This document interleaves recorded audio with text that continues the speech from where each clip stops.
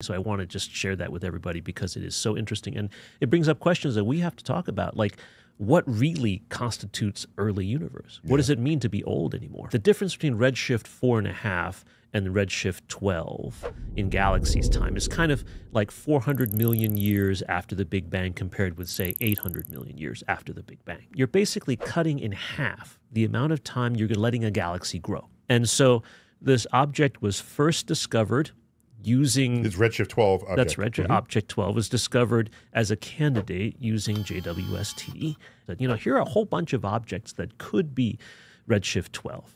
All right. Well, let's confirm that. And so there became this sort of an effort to use spectroscopy to make sure that you could see that it wasn't just an image showing that this was a Redshift 12 object. And indeed, they showed the spectroscopy suggesting it was. Well, we need one more confirmation in my mind to make sure that it's really true. And so they used a different telescope, used mm-hmm. ALMA,